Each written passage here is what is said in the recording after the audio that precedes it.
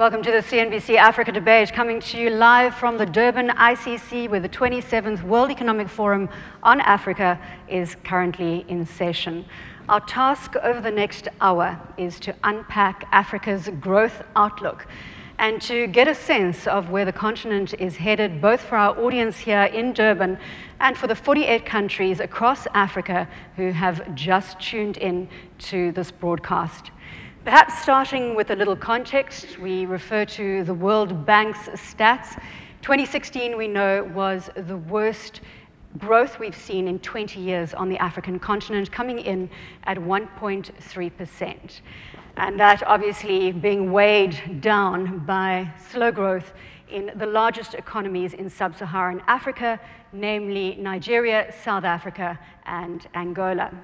But it's not an all fall down scenario. The World Bank sees growth coming in at 2.6% for 2017, 3.2% for 2018, and 3.5% for 2019. But there are risks to the scenario. On the other hand, we could shoot up on the upside.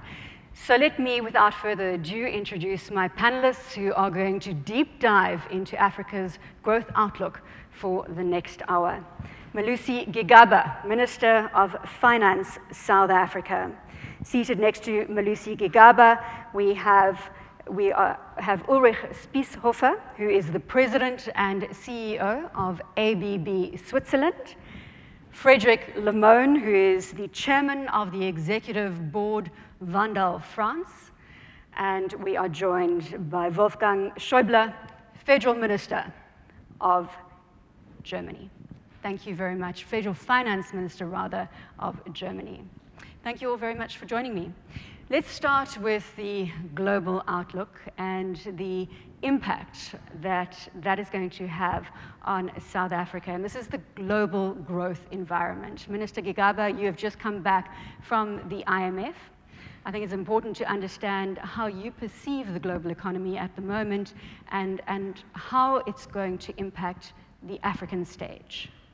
Thank you. Thank you very much. Oh, okay, need to get close. Thank you very much. I think, um, and, and, and greetings to fellow panelists. I think what emerges quite clearly, and perhaps the positive out of the global economic outlook, is the fact that at least we're growing. And there is anticipated growth globally and across the regions. The growth is low, but it's there. It's there for the developed world. The emerging markets are the major drivers for the growth. Sub Saharan Africa is expected to grow, and South Africa herself uh, is also growing. And there are important aspects to the growth but there are also risks. And some of those risks include the geopolitical risks, such as Brexit, uh, uncertainties in various major economies, including the United States and China. And going hand in hand with that is the risk of many countries becoming more protectionist and reducing international trade. That obviously will have an enormous impact for us in Africa because the, it, it, the, the, the, the, the cost of capital, it raises the risk of um, a declining trade in an environment where Africa needs to, to trade more.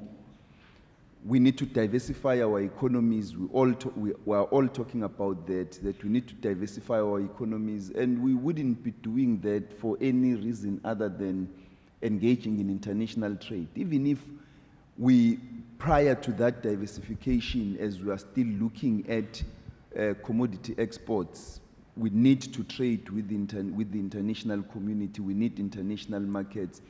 But those also create greater opportunities because, in the environment of um, uh, low intra African trade, and a gr- growing infrastructure investments on the continent, albeit not sufficiently, it means that um, African countries need to identify um, new markets to focus more on trading with one another, identify markets in emerging economies, and, and trade with those countries that um, are still open to trade. So there are opportunities globally and there are risks, but I think on the overall, we need to take a positive outlook and, and focus on what we need to do in order to grow our economies to sustain the growth over the, the medium to long term. Minister Schäuble, if you could come in here, sir, on your view on the global growth outlook. We've got the French second round of the French elections just a couple of days away. Um, we've seen Brexit, we've seen the changes in the US, and I think it's very important for you to weigh in with what is happening on that global stage.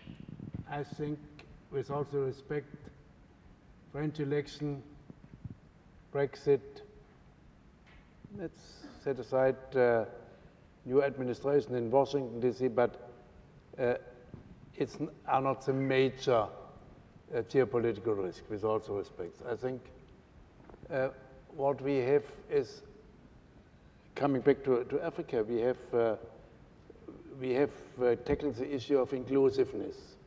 Because if the gap between the rich and the poor, globally as well as in our societies, is increasing, we will face major uh, political trouble. We have too much, too much trouble all over the world, and especially in Africa, we have millions, millions of migrants on behalf of uh, hunger, uh, natural catastrophes, climate change, and a lot of wars, and spreading terrorism, Islamist terrorism. That are the major risks. And therefore, if we want to fight this, we have to uh, engage ourselves, the, the, global, the global community. And that is the reason we, we, we, we took the initiative, German presidency for the G20, to take Africa even on the agenda of the G20. Because if we would fail to stabilize the African continent in the years and decades to come, we would face uh, increasing geopolitical risk, and that is the challenge we face. I think we have a lot of opportunities, uh, as uh, my fellow colleague just mentioned, but we have also some risk, and therefore we have to engage ourselves. That is the, the main issue in our, and that is the, that is the reason why our initiative on the G20 uh, to take Africa on the agenda of the G20 is, has been uh, a, a, forum for the advanced and emerging economies, and not for Africans. But we have seen it's a major concern, and all the uh, global economies have to care on Africa. And that is what has been agreed, and now we are working for this. I think, Minister Schäuble, just for the broader audience, you mentioned the relationship with the G20 and Africa, and we had the privy of sitting in on a session which is the, the compact with Africa, the G20 compact with Africa, which is a flagship of Germany's presidency of the G20. Perhaps you could just give a, a little more detail yes, on that compact with Africa. Thank you very much. Uh, I would like only to say a few sentences. If we, we agree that we need much more investment in infrastructure in Africa to increase the intercontinental trade, it, we need much more infrastructure. Therefore, we need more investment, not only public investment. Uh, crucial is private investment. To enhance private investment, you need uh, preconditions, you need the framework in the member sta uh, the states, the nation states concerned. Therefore, we have launched this initiative for Compact with Africa to invite every African country uh, to be to, in, to uh, in, in, in, cooperation with the multilateral institutions, IMF, World Bank, African Development Bank, with the member states of the G20 in partnership to what has to be done uh, for in any every country and its uh, specific situation to in, in improve the conditions for getting private investments. And in parallel, we encourage in the advanced economies private investors like a rental company to invest even more and we tell them, look, it is work, it will be, it will be sustainable because the, the framework is granted in this, in these states in which you can invest. That is, that is the philosophy of our compact with Africa. Ulrich, let's talk now about private sector investment across the African continent. And ABB, we know, has been present on the African continent for 110 years.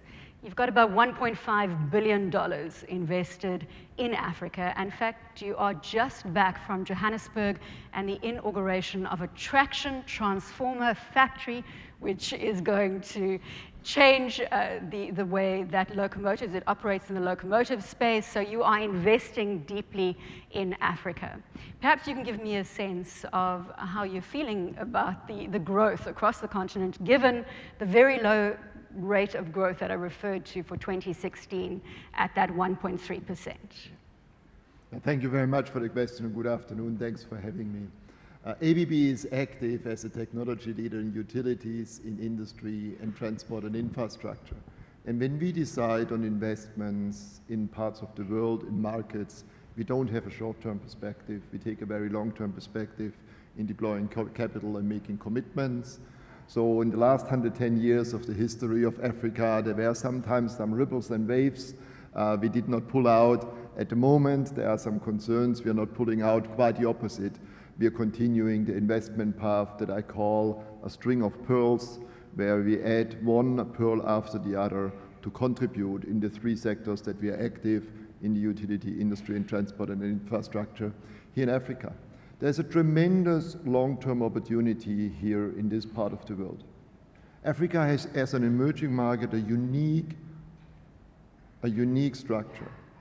There's tremendous natural wealth underneath the soil that is still to be explored. And there's a significant demand pocket, a very vast market that coincides on the same continent. But today, the problem is that a lot of the exploitation of the natural works creates jobs outside of Africa, and the consumer demand in Africa is being satisfied by imports that come from outside of Africa. So we're losing out in this part of the world as a continent on job creation, prosperity, and our wealth. Our job as industrialists is to help and make a commitment and a contribution to change that uh, situation. We have invested, we have multiple factories here in this part of the world. We have invested in people, we invest in education, and we continue to do so. And as Minister Schäuble said rightly at the beginning, the infrastructure element is a key enabler for prosperity and growth. Being a leader in this field, we have clearly said we will not contribute through imports. We will contribute by setting up a local value chain, creating jobs locally, training people, and being a partner to local governments, to local industry to enable the growth to come. So yes, you're right, short term there are some concerns and there are some ripples and waves. Long term, there's prosperity possible, and we are very committed to contribute on that one. And we don't get nervous by a quarterly or a yearly little bit of a rainstorm that might be there. A little bit of a rainstorm. Let's talk about uh, infrastructure and the infrastructure gap, the lack of physical infrastructure which sees us losing around 2% of GDP growth on an annual basis.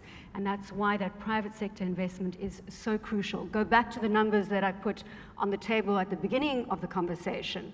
You add 2% to that 3.5% outlook for 2019, and you get to that crucial 5.5% GDP growth level for the African continent that starts creating jobs. I want to come now, Frédéric, to you. And Wendel, again, has a rich history. Well, I suppose it's a newer history. You started investing in 2012 into the African continent. 14% of your portfolio in both the listed and the unlisted space is in Africa. 1.5 billion euros you are now fast tracking investment at, some would say, uh, a time where the outlook is not as rosy as it has been previously? I, think we are fundamentally a long term investor. Uh, we are an old company founded in 1704. We have um, industrial roots. Uh, we have permanent capital. So, um, a little bit like uh, ABB, but not as an industrial group, as an investor. Uh, we try to look um, at long-term trends. Uh, mobile telephony, for instance, seems to, to, to us uh, uh, an absolute uh, must for the continent. It has been growing uh, very fast. The number of landlines in Nigeria, for instance, is below 100,000 landlines for the whole country, but 100% of the, the, individuals are equipped with mobile phones. Uh, it's uh, the access to internet. It's uh, absolutely essential in urban environment, but also in rural environment. And we have invested massively in telecom towers. So it's infrastructure.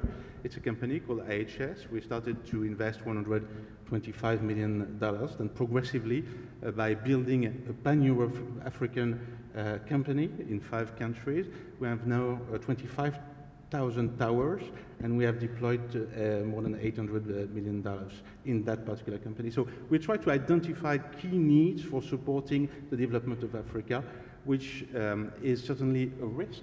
Uh, I, I, do uh, agree, and I fully support the uh, priority that the G20 uh, um, has put on Africa under German chairmanship but I also believe that it's a, a great opportunity. And when you look at all the uncertainties in the so-called developed world, from uh, Mr. Trump's policies to uh, the European uh, integration or disintegration in some cases, and hopefully the second round of the French election will turn out to be a positive news about, about that. But I believe that Africa, um, Africa's risk is very often overestimated. It's not easy to convince a board of directors in uh, uh, Europe to invest in Africa big sums of money, but because they, they, tend to not know exactly the conditions of investments and uh, they, they, they, don't see the long-term return. But when you can prove with first steps that it's uh, efficient, then you can build great story over time. You have to absorb ups and downs, and you should not, uh, you should not have to give your money back to your investors in a given uh, frame, frame of time, otherwise you, you cannot invest here. Minister Gigaba, if I could come back to you at this point, as the only African member of the G20, will South Africa forge the relationship for the rest of Africa when it comes to the G20 compact that uh, Minister Schäuble was referring to just a moment? Are you going to drive strongly the African agenda as South Africa? South Africa has always taken its interest, its, its commitment to Africa very serious and regard our participation in, in different international fora, including the G20, as an opportunity for the African continent to have a gateway into those institutions and for those institutions to have a gateway into Africa. And so we will play our role in terms of partnering with the G20 countries to attract investments into the African continent. We ourselves are keen to increase our partnerships with different African countries to, in infrastructure investments, to, improve, to diversify our economies and, and improve intra-African trade and, and ensure, therefore, that the investments that come from elsewhere in the world into Africa find us as equal partners, not as helpless um, uh, uh, recipients of the world largesse that are just sitting waiting for investments without um, having anything back to contribute. Because in the first instance, Africa not only has vast natural resources, but Africa has a very large young population. We have a population of the future. We have therefore huge human capital. We have um, a, a lot of advantages, including a rapidly urbanizing population. So all of these advantages must be taken into consideration and Africa must use that advantage when we interact with other countries, but we must also insist in terms of the investment programs that come into the continent. I was very happy when you spoke of localization, of building local capacity, building local institutions, because we must institutionalize the investments and the developments that come into the continent as a result of those investments. You speak, Minister, about the young population in Africa, and the World Bank stat is that we need to create 20 million jobs annually until 2035 to absorb new entrants into the job market. That is 20 million jobs on an annual basis every year until 2035 to basically cater for new entrants into the job market. I think if we can come to you, Minister Schäuble, on this in terms of the G20 and the fact that many of those countries are facing their own national challenges, the rise of populism, do they have time and the inclination to invest in Africa? It's, it's a matter of, it's a problem of time because uh, time is running out with this uh, increasing number of, of young populations. They will be educated. If they will have no uh, vision for their future, we will get a lot of uh, additional instability and, and, and maybe potential of, of migrants and so on. Therefore, it is, we have to, and that is the very reason why we need uh, not only public investment, but what we need is, is uh, private investment. Maybe private public uh, investment together in private public partnership and so on. And we have to speed up. And therefore, uh, we want uh, to convince uh, African states, because private investment you only get if investors can hope with all the uh, risk sharing with uh, uh, taxpayers' money. At the end, private investors ne need some return on investment and some security, and therefore you need to, to, to grant the preconditions for investment. And that is, of course, a matter of the, of the, of the uh, states and the nations concerned in which you have to invest. And therefore, we need the partnership. What, what have to be done in the, in the states as well? But on the other hand, we have to convince populations that reforms, structural reforms, uh, enhancing uh, legislation for getting more, a better framework for, for private investment, you need, uh, uh, you have to show success in a short time. If you tell people, if you tell young people, please, we have to invest, we make structural reforms, and you will see the return on investment in 15 years, they said, oh, it's a little bit late for a young man, we cannot wait. And therefore, we want to do it in, in parallel. The idea of our uh, uh, uh, compact with Africa is, on the one hand, to work together in partnership with the, with the African states, and on the other hand, in parallel, to encourage private investment and say, look, look what we are doing, look what, what's going on in, let's say, the five countries which had already engaged, the Cote d'Ivoire and then the Senegal and Morocco and Tunisia and, and uh, was the fifth one? Help me. Ah, it's a, Rwanda. Rwanda. Oh, Rwanda. Sorry. Rwanda is doing, by the way, uh, uh, impressively well. And you can see what's going on, and therefore you can be encouraged as investors. Please, not, not wait, do it now. And that's what we are doing. Let's, let's take an example. We both will attend, I hope we both will do it, a Berlin conference in preparing the G20 summit in Hamburg. We will have in June a Berlin conference on Africa.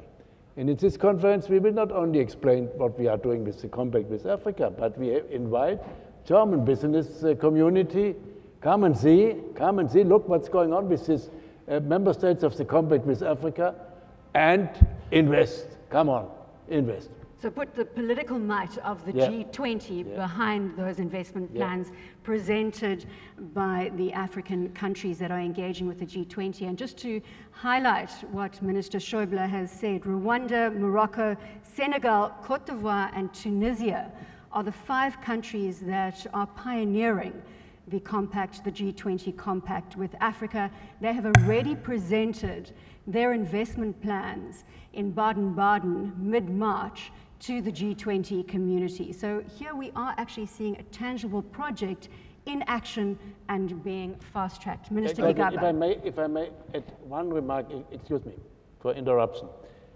Uh, the Compact with Africa is offer uh, is uh, invited for any African member state, uh, and therefore the five countries already mentioned are pioneers, and they should encourage other African states as well to join this initiative. That it's open for any African member state. Minister just, Gigaba, you wanted to add? Yes, just to add to what Minister Schäuble has said, and in response to the question you were asking about, about the time and the risks that you, you may, that as a result of the rise in populism, you may not have the foreign governments having the time to focus on, on African investments.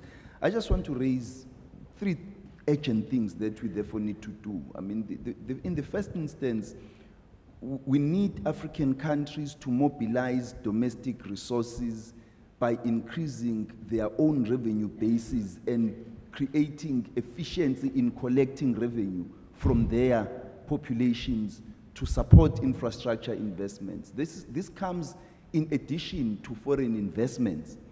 We must fund our own infrastructure investments and mobilize domestic resources. Secondly, we need to increase intra-African trade yeah. so that we don't rely on what happens in the environment outside, but we are able to channel and redistribute resources amongst ourselves and, and ensure that the, we, we generate revenue out of trading with one another. And thirdly, we need to listen to the African youth, to draw them into the picture, politically and economically, and engage them in finding solutions to the challenges that we are facing and invest in these young people because there is a lot that they can offer as a contribution to solving the problems we're facing. Minister Gigaba, I want to just focus on your second point, and that is of intra Africa trade. I think for the last seven years, I've sat on platforms like this, where we have discussed how important intra Africa trade is to insulate Africa from shocks in the global economy. And yet, that figure just refuses to budge. So, we're sitting somewhere between 11 and 17 percent, depending on what stat you want to look at. So, how is it that we move beyond the talk? We stop saying that we need to fast track intra Africa trade and make it actually happen. I think, among others, there are two issues we must address. The first one is there needs to be a political will in Africa among countries to trade with one another. I always have a sense that it doesn't exist. Rhetorically, we say we are keen on this, practically, and there are examples which I can cite um, to, to, to uh, elaborate uh, this point. I think we need that, that political will, and therefore, if we, have, if we say we do have the political will, we must then decide. Because we were sitting just during the lunch with the Prime Minister of Namibia, and she was raising a whole range of challenges with us uh, while we were asking her a lot of questions about what needs to be done. And, and I think that we, we need to translate that political will into practice take advantage of the strengths of different countries and use those strengths. For example, the existence of, um, despite their financial challenges, but the existence of very well established and well known state owned companies involved in infrastructure investments in South Africa, and see how we can use those to leverage global partnerships in different countries to draw the investments, to create the infrastructure networks that will support that, that intra-African trade. Minister Gigaba, in the interests of time, could I put a challenge to you, sir? Is that when we face one another again in 12 months' time, that you, with your passion, have driven that intra-Africa trade agenda across the African continent to see a substantial change in that number. Accepted? Accepted, sir? Accepted. Can accepted. we shake on it? Yes, Thank accepted. you so much. Ulrich, I want to come back to the World Bank and uh, certainly the, the risks, the domestic risks to that growth story for, for Africa. If we look at security concerns, at political instability, at the slippage in reforms, when do you call time out on a country? Us, fundamentally, we, we call it timeout when our people are endangered, when the physical and the health of our people is endangered, then we withdraw immediately and we're very, very careful. Other than that, when there's an economic environment, you, as a large player like us, if we would every time when there is a little bit of ripples and waves or uncertainty in a country, pull all the time out and then get back in, that doesn't make a lot of sense. We are in very long-term business on the infrastructure side, on the utility side, even on the build-up of industrial operations. This is not a quarterly or annual business. This is a long-term business.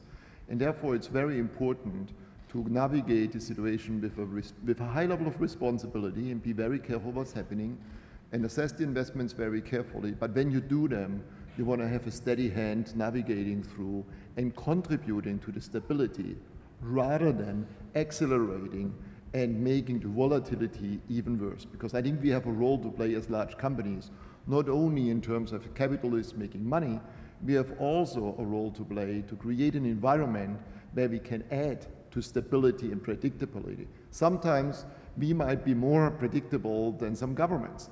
Sometimes we might be more predictable in terms of our credit rating than some countries. And that can help if we deploy that in a responsible way and contribute to the development. I believe fundamentally there's a, there's a very good opportunity for large players like, like ABB in the African continent. Whether it's direct investments that we do or indirect investments that, that Frédéric and his team do as an investment uh, company, that doesn't matter. Uh, but if, if we do this in the right way, then we shouldn't get so nervous. The World Bank um, statistics, on the one hand, they point out a certain kind of concerns. On the other hand, the World Bank is, can also be a great partner for us in financing long-term infrastructure developments.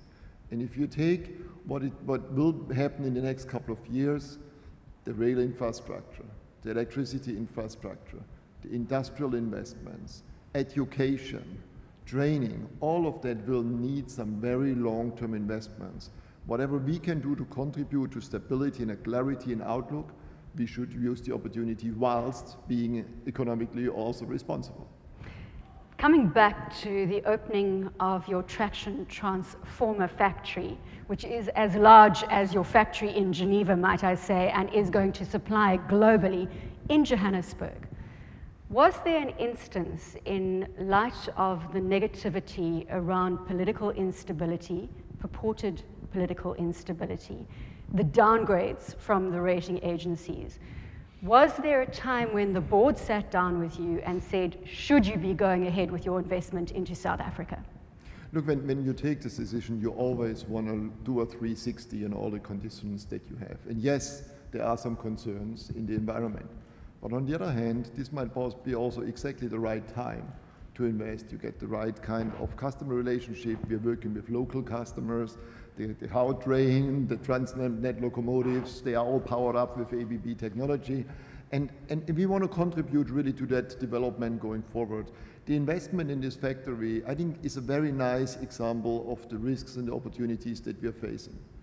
The way we created is we took global technology, localized it, we took African people, a couple of dozen of them, we moved them out of Africa in a couple of, a couple of quarters, trained them in other parts of the world, brought them back, and got them going. The risk, however, is if we continue with the difficulty in terms of doing cross-border trade here in Africa going forward, where the free movement of information, money, people, and goods is not as good as in other parts of the world. In fact, for us, it's sometimes easier to import from China into an African country than importing from another African country across the border, I think that's something. I'm going to jump in here again in the interests of time. You answered my question uh, in terms of the discussion point around South Africa. Frédéric, let me bring you back into the discussion. I think it's only fair if I put the same question to you. In terms of the domestic risks, when would you make a decision to exit a country? Security, political instability ahead of elections, and slippage in reforms, the three key risks?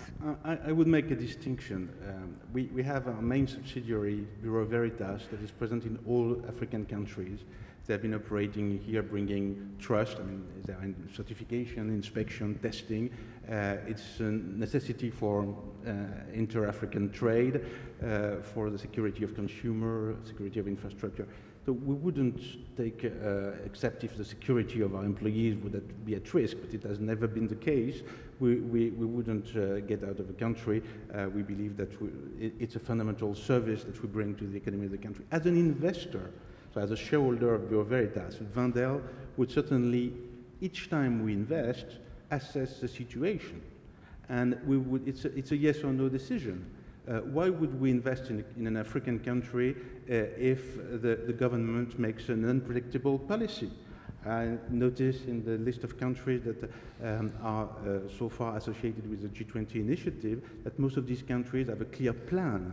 They They have targeted a number of sectors, like Morocco, for instance, with automotive, to make an example. Uh, or they have, uh, be, they have been extremely persistent and consistent. Think of Rwanda.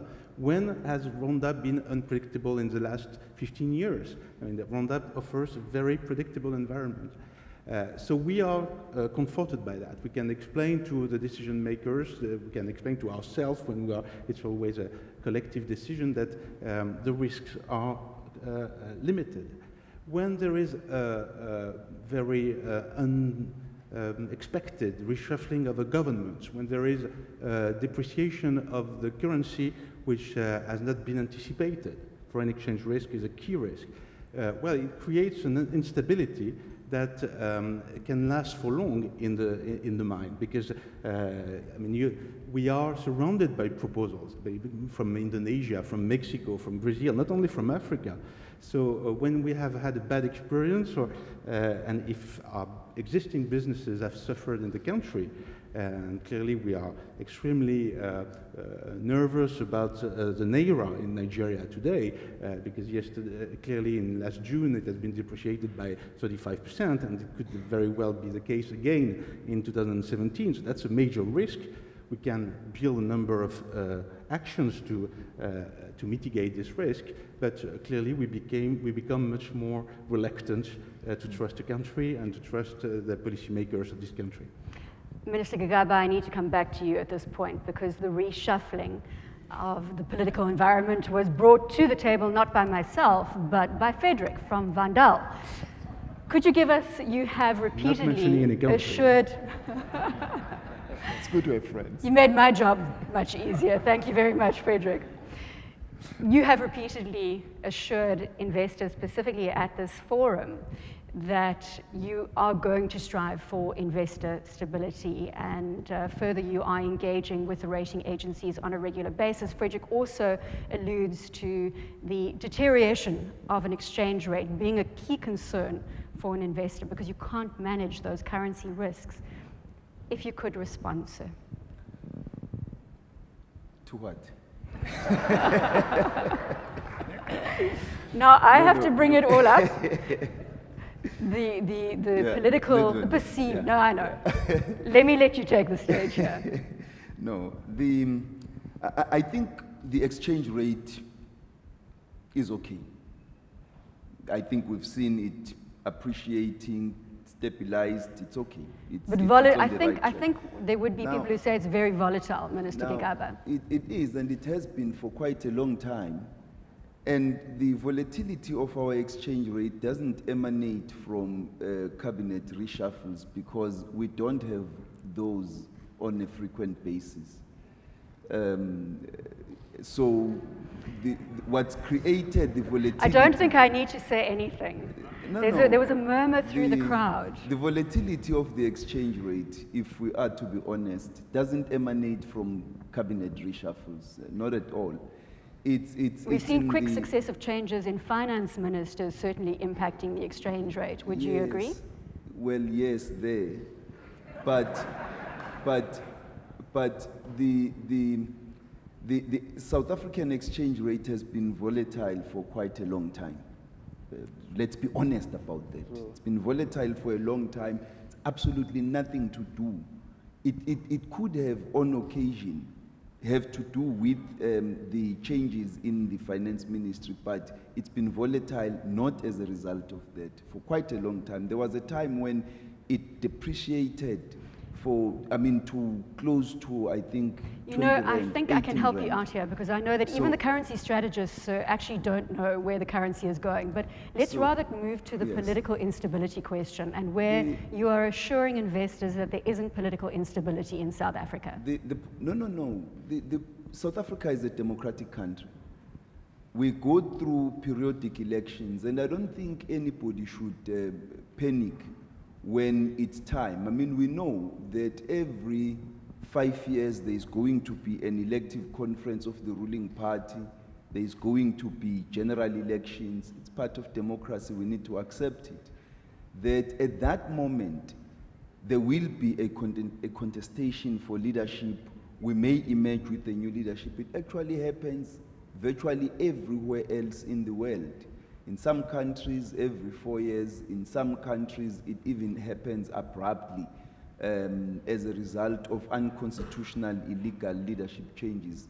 In our country, all the leadership changes that we've had have been through the democratic process. There has been succession, a peaceful transition from one administration to the next. And that should really not cause anybody to panic. We should accept that it's going to happen. So, for example, end of this year, the ruling party goes to an elective conference. The current president will no longer be the president of the ruling party. Come 2019, there will be a new president for the country because it's five years for elections. But what I think we need to do is, is to strengthen our institutions so that there is policy certainty and predictability, there is trust in the institutions that we have.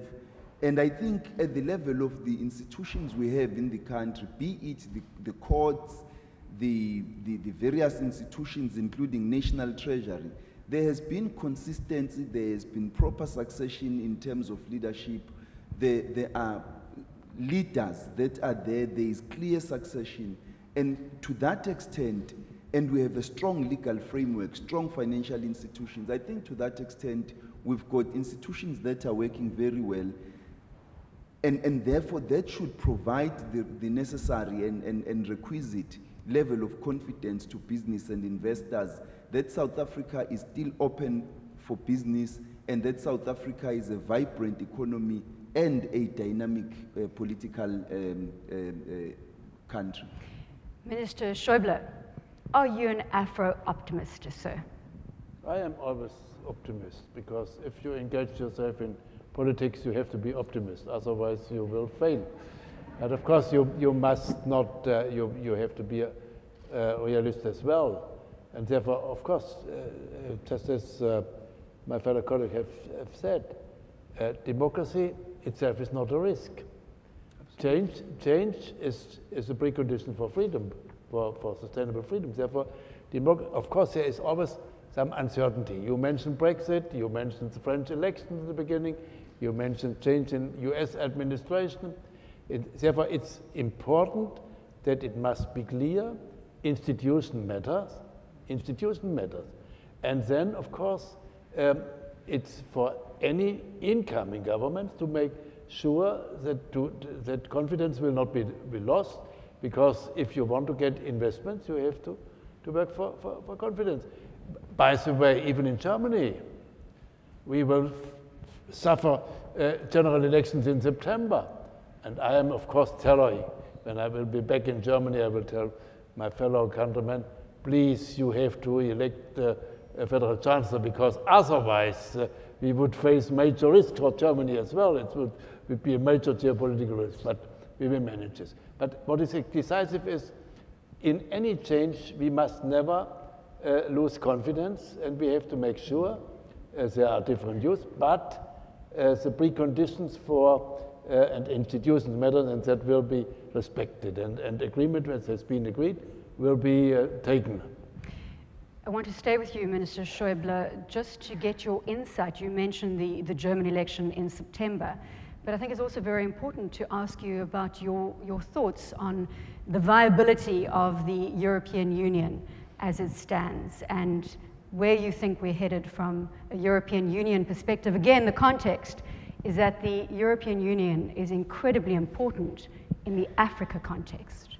I think, I think I'm, I'm uh of course, we are in, in, in we have some differences. The, the decision of the British people uh, to vote for Brexit has been not, uh, we have all, uh, everyone has not been in favor of this. But they have decided, we're taking the decision serious. I think European Union and UK will manage it in the negotiations to do it in a, in a proper way. But you can see overall in, Euro, in the European Union, beyond the UK, since the Brexit decision, there is a, a, a, movement to strengthen European integration again because people do better understand that European integration matters. And of course, if any European member state will take its own responsibility for the future, and the future for any European member state is to have, an, in a globalized world, as, many, as much stability as, as possible that requests inclusiveness, for example, then we can only do it together as, as Europeans. And that is the lesson. If you see uh, last election in Netherlands, a lot of people have said, oh, the Eurosceptic movements will, will, will win. They didn't. You will see the same in France on, on Sunday, I bet. I, I, I take. You have seen the same in the election of Austria. Therefore, there is an, people have better understood after the Brexit decision that European integration counts, is worthy for everyone, and therefore I'm quite optimistic we will, uh, Europe will remain and will become a more relevant partner for the rest of the world, especially for Africa, of course. Therefore, by the way, the, our, our uh, initiative for the compact with Africa is very much supported by all European members, including, by the way, UK. I am going to take three questions from the audience, and I'm going to be a dictator about it. I will take one question from this side of the room, one from the middle of the room, and one from that side of the room. I see one already here. Thank you very much, sir. If we could get a microphone. If you could, for the purposes of the broadcast, stand, state your name, where you're from, and address the appropriate question. And please keep them brief. Sure. Mokena Makeka, young global leader from South Africa, Cape Town. Um, Africa has eight economic regions, and these economic regions, um, such as SADC, ECOWAS, are very useful because they exist to aggregate uh, stability, um, aggregate planning, as well as aggregating economic planning and thinking. My question to the forum here is that with this compact, it seems as if the G20 is engaging with individual African countries. Is there not a possibility of using these economic regions as the basis of negotiation to ensure that smaller countries can participate in the dialogue with the G20 to facilitate intra-African trade and to ensure that African countries don't trade, trade negatively against each other for the interest of the G20.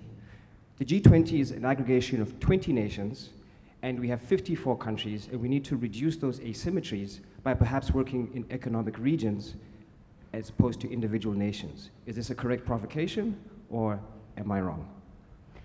I think if I can go to Minister Gigaba first, yeah. given the fact that, Minister, at the beginning of the discussion, we established that South Africa, as the only Africa representative in the G20, will be taking on that Africa agenda. What are your thoughts on the proposal that has been put forward?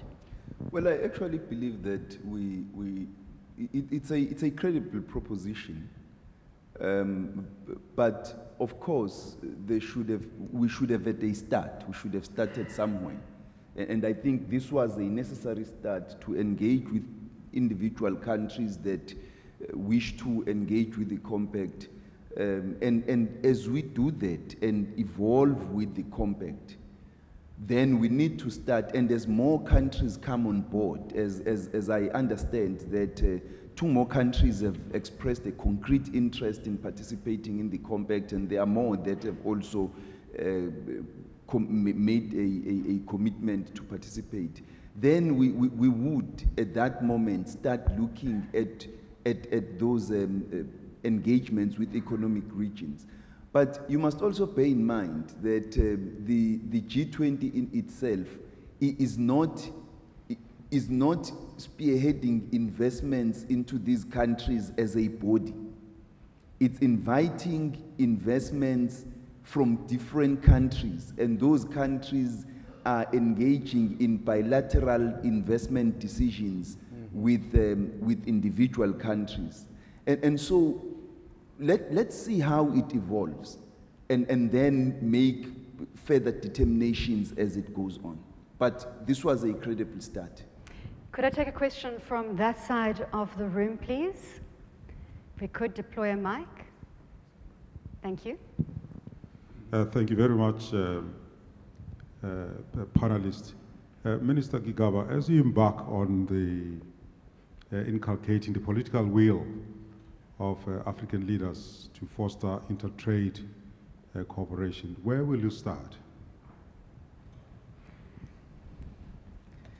Now, that's my Archbishop um, who just asked the question. Um, thank you very much. I, I, think there is a number of things that we, we, we need to do. Maybe just to tabulate um, three of them. Uh, one is we must diversify our economies. It's absolutely urgent uh, because it's going to be difficult to encourage any commodity producer to trade in commodities with a fellow commodity producer. Because why sell ice to the Eskimos? So, first, uh, Archbishop Makgoba is um, diversifying the economies. It's also been spoken about quite extensively.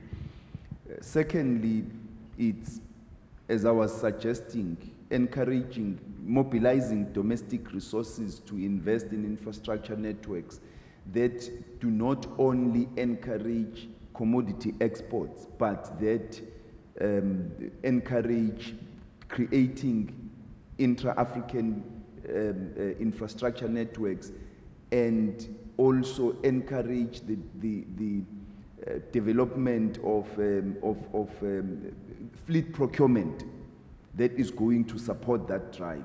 So three, I'm going to have to leave and it there, Minister Gigaba, but a good start. So I think that appropriately answers the question. I don't want to marginalize this side of the room. Is there a question before I move to closing panel, closing comments from my panel? I see this side of the room has chosen to be marginalized. So we're going to come back to, there we go. The opportunity has been taken by the far left. Thank you very much. Um, Hi, um, this is a question for Minister Gigaba. My name is Adrian Klasa. I am with This is Africa at the Financial Times. Um, you said in your statement earlier that um, the institutions that South Africa has should provide confidence to investors in the economy. Yet, and you said that a cabinet reshuffle shouldn't necessarily be linked to volatility. Yet, um, what we're witnessing by some arguments um, with the recent cabinet reshuffle was that a finance minister that many thought was putting a check on executive power was removed from power um, precisely because he was defiant. How does that square with your perception of how investors should still have confidence in the South African economy? Thank you. So we should have actually had that, that question perhaps at the beginning of our session. Again, I'm going to be dictatorial in my stance, and in the interest of time, I've got five minutes left. I think that the minister has given a very comprehensive statement about how he sees the democratic process unfolding in South Africa. I'm sure you can engage at a further point with the minister. So can I come back to closing comments? We've got five minutes until we close our broadcast and lose our audience across the African continent. So, gentlemen, I'm going to put something to you. There are two phases to this question in the concluding comments.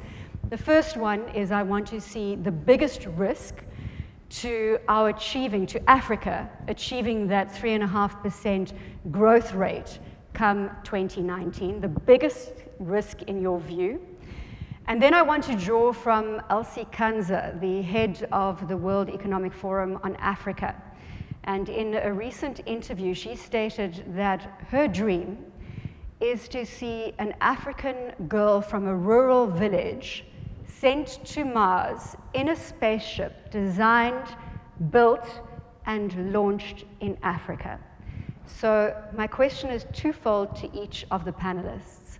One is the key risk to the 3.5% growth rate as they see it, and perhaps put in there the opportunity to overshooting that growth rate, and then whether we will see Elsie achieve her dream in 10, 20, or 30 years if we do the right things from an African context perspective. And gentlemen, I'm afraid I do have limited time to go down the panel at this stage. Minister Schäuble, I will start with you, sir. I think the biggest risk would be increasing political uh, trouble, and especially uh, uh, uh, uh trouble with, with war and, and, and with terrorists and, and, and violence. That is the biggest risk. And my dream for, let's say, 30 years is that Africa is uh, a continent which uh, is a driving force for global economy because it has by far the, the biggest potential in demography. They have a huge potential of young uh, uh, uh, people and so on. And therefore, Africa could be, I, I know, let's say in the, in, the, in the other way. Some years ago, there was a question, is Africa a, a lost continent? And my dream is Africa will be the opposite in, in, in 30 years. That's my dream. Frédéric, if you could add your voice. For the risk, it will not be long. I fully agree with uh, Mr. Schäuble.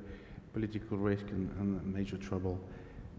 For the dream, uh, I think that uh, Africa um, will be more and more in the cities. I think the urban development will uh, create uh, a new kind of cities, and uh, Africa can imagine and build cities that are not like the American or European cities today, but uh, cities that have developed in another way, in a more sustainable way, uh, with a lot of new services, a lot of new, new uh, building infrastructure that will really invent an efficient way to work together um, because um, they, they, have to, because otherwise the development will, will grow too, too quickly. And I have another dream, which is that uh, there are so many African companies now that have a certain size. We never mentioned that. 400 companies over $1 billion revenue in Africa. I just dream that they become global company and you have global leaders that are from African origin. Ulrich. I think on the, on the risk, I think I agree. A large-scale disruption on a large-scale political dimension would be very, very bad and that would be not um, something that we should desire. On the dream, look, you mentioned the year 2030, 2040, where somebody could fly to Mars. In 2035, Africa will have about 1.1 billion people at, at an age that they could work. The workforce will be about 1.1 billion. And my dream would be through a smart application of technology, through a redomiciliation of demand and creating of local value chain, we have this 1.1 people busy at a very low unemployment rate in a new economic model deploying technology in a new industry. Minister Gigaba. The key risk is the persistence of poverty, inequality, and unemployment. And my dream is to see a more integrated Africa that is growing in an inclusive manner, harnessing the full potential of her people and mobilizing both domestic and international resources to address the aspirations of her people and contributing to, to human development. And on that note, I would like to thank our panelists. I would like to thank our audience across the African continent and perhaps close on this message, drawing from the World Economic Forum and the fact that Africa, to navigate the domestic and global challenges, is going to have to rely on both responsible and responsive leadership. So perhaps it's fitting to close with a message to our leaders. Africa is firmly in your hands. Her children are firmly in your hands. Please guarantee her a long, healthy, happy, secure, and all inclusive life. On that note, thank you very much for joining us.